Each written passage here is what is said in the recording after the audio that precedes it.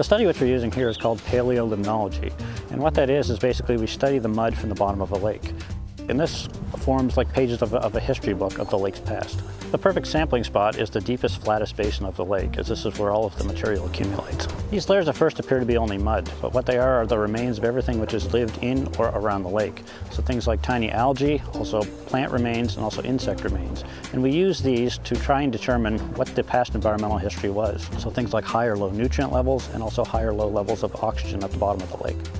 Paleolimnology has been used in other Ontario lakes such as Gravenhurst Bay where it accurately tracked past trends in water quality.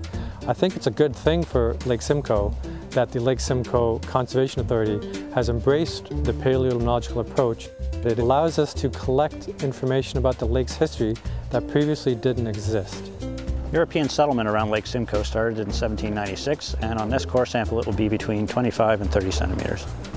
By slicing the core into horizontal or almost cookie-like sections, we captured a discrete interval of time. By studying these, we can find out what was happening in the lake, what its environmental history was, and also what was living in the lake as well. And using dating techniques, we can find out what period each one of these cookie-like slices were from.